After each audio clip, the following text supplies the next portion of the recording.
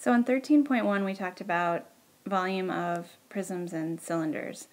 Uh, in 13.2 we're going to talk about volume of pyramids and cones. You'll notice that the volume formula is already written here for you and you'll notice also that it looks very similar to prisms and cylinders, difference being that the volume is one-third times the area of the base times the height. So there's a couple things we have to talk about um, before we move into doing the examples. Uh, notice here it says that there's a height, which is also referred to as an altitude of the pyramid or cone. And that is the segment that's drawn from the vertex of the pyramid and perpendicular to the base. So on this cone, this right here would be the height or the altitude of the cone. Similar, if I look to the pyramid that's here, if I was going to draw the height of the, the pyramid, it would be perpendicular to the base. So this would be a 90 degree angle, and this would be the height of the pyramid. Uh, there's another height that's going to come into play when you're dealing with pyramids or cones, and that is something that we refer to as this italic L and that is the slant height of the pyramid or cone. What it is, it's actually the height of the lateral face. What we mean by that is if you look at the um, the lateral face of a pyramid, I'm going to just change colors here. So this pyramid has a triangular lateral face. And L, the slant height, would be the height of that pyramid. Over here on the cone, it's a lot easier. The slant height is the edge of the cone. So when we are looking at pyramids and cones, um, the volume formula, again, very similar to cylinders and prisms, it just has a one-third multiplied by the area of the base, then times the height of the pyramid or cone. So let's look at some examples.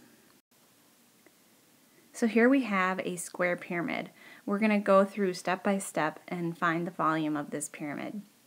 Now, because they tell us it's a square pyramid, we know that all four sides of the base are congruent. So CD, DF, FB, and BC should all be equal to 4. The height of this pyramid is the segment that is perpendicular to the base. So 6 is the height of this pyramid. And I will just go ahead and do that. Height is 6. And the area of the base is going to be base times height but because this is a square, 4 times 4 is 16. Again, the base is this square, and so we have 4 times 4 to get the area of that base. Um, the height of the pyramid, remember we already discovered that, is 6. And so to find the volume of this pyramid, we are going to take 1 third times the area of the base times the height of the pyramid. So that's going to be 1 third times 16 times 6. Now when you enter this in your calculator, it's much easier to do 16 times 6 and then divide by 3. And when you do that, you should get 32 cubic units. Again, remember that volume is always units cubed, so we use a exponent of 3 when we write the unit. We do the same thing when we're working with the cone. So here the height of the cone would be 7. So I'm just going to draw a little arrow here. That is the height of the cone. And then the area of the base, well because a cone has a base that is a circle, we're going to do pi r squared. And in this circle, the radius is 3, so pi times 3 squared would be 9 pi. We said that the height of the cone is 7. So when we find the volume of the cone, it's going to be one third times the area of the base times the height of the cone. So in this case, the area of the base, remember we found was 9 pi, and the height of the cone is 7. So if you multiply 9 times 7, you get 63.